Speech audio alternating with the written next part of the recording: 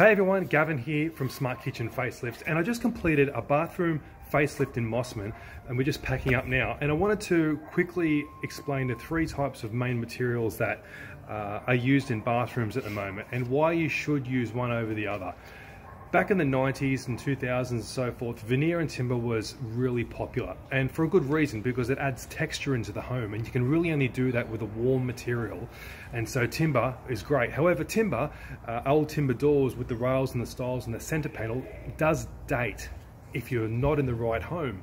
So uh, or era for that matter. So veneer was invented and veneer is a board that's made from medium density fiber board. You get a, a, a 0.8 millimeter thickness of veneer which is real timber uh, sheathed over the MDF the medium density fiber board. And then you can have any size and width without any cupping minimal bowing and so forth but when you have a shower, the moisture in the air uh, and the heat seeps into the timber, and timber, just like skin, the pores open up.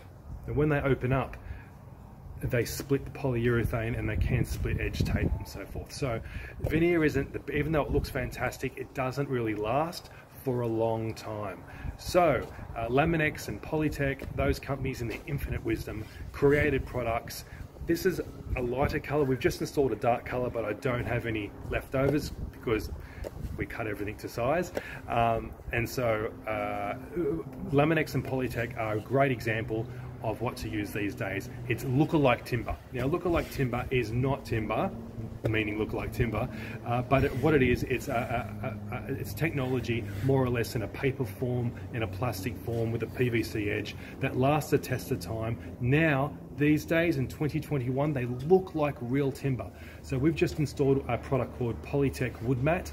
Uh, big shout out to Sandra Cotter for uh, specifying this uh, particular color uh, and this looks like real veneer. So go check out my uh, Instagram page. I would love you to subscribe. Uh, it's a smart underscore kitchens underscore facelifts smart kitchen facelifts uh, and we love your support and please subscribe.